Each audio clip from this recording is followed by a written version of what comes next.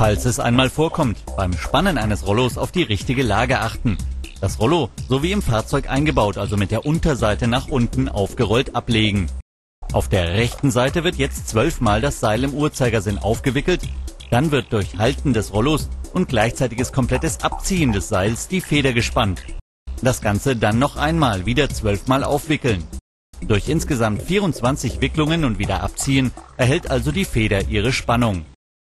Jetzt muss man zu zweit sein, denn auf der linken Seite muss jetzt durch das Langloch in der Rollowelle der Sicherungsstift in die Nut der Wickelrolle gesteckt werden.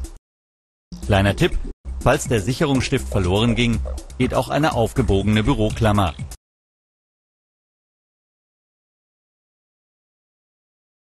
Das Seil links wird dann mit 6,5 Wicklungen gegen den Uhrzeigersinn, wie hier gezeigt, aufgewickelt und in der Nut festgeklemmt.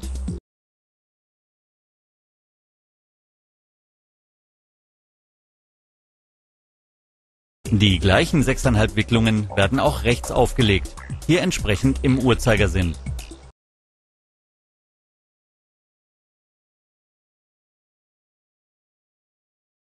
Damit haben wir wieder ein gespanntes Rollo, fertig für den Einbau.